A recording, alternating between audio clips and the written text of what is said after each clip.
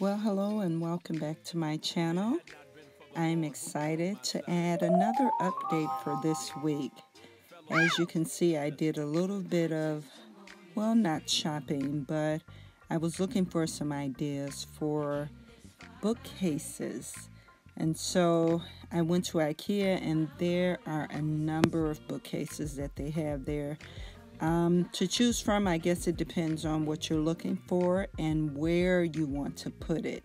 Some bookcases may have been more appropriate um, in a bedroom, but not necessarily good for a living room or dining room. So I was looking for something uh, that was wide enough and tall enough. I have a lot of books and I like my books and I like to take them back out if I want to read them. Um, again, as I mentioned, they have a number of bookcases that you can choose from. Um, some on the lower, inexpensive end, and that's what some of these were.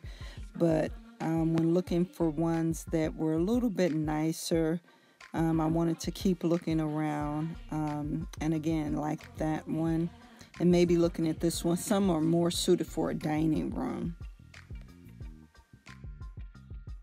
But here's what I wanted to add regarding my update um, for this week is this mirror. I love it. I got it a few weeks ago and I love the design on it, the whiteness of the edges, um, and it's tall. I think it's about eight feet tall.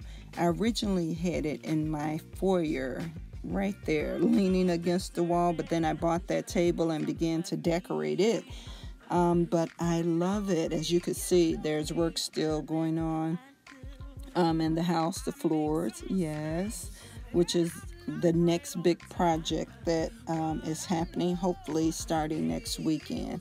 Um, so I love the mirror. Um, and that's it for this weekend but I hope you guys come back on next weekend. Join me. Don't forget to rate and subscribe.